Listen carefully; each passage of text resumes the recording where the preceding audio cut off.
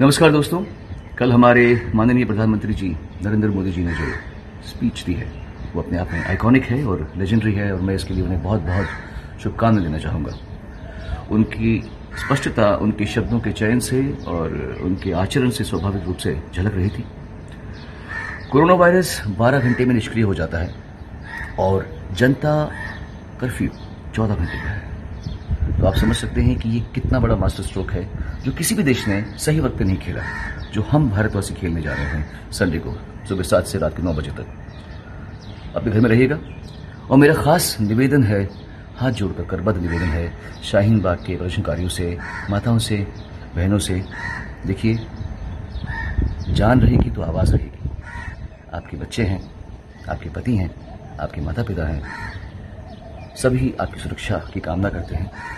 आप खुद भी असुरक्षित हैं और आपकी वजह से वो भी असुरक्षित हो सकते हैं।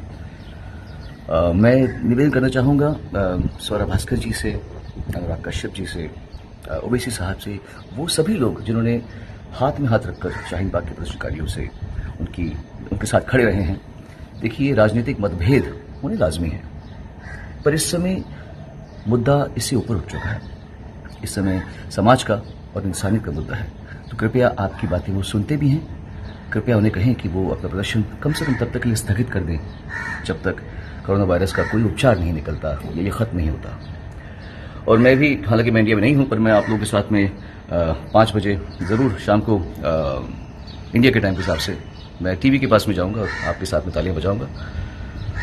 और मुझे मेरे दोस्त ने लिखा था एक कहीं पर कि इंडिया में बहुत कम लोगों के पास में बालकनीज होती हैं बट खिड़कियाँ तो हर किसी की होती हैं कहीं ना कहीं होती हैं तो आप ज़रूर उन स्वास्थ्य कर्मचारियों के लिए तालियाँ बजाएँ और उन्हें दुआएँ दें जो अपनी जान पर खेलकर आप लोगों के लिए आपकी सेवा कर रहे हैं। और रात को आठ बजे, क्योंकि आप लोग घर में बैठे होंगे तो मैं भी आपके लिए कॉन्सर्ट करता हूँ। चलिए live I go live at eight o Indian time and आपके लिए यहीं दुबई से एक स्टूडियो में जाके एक छोटा सा कॉन्सर्ट करता हूँ आप लोग के लिए।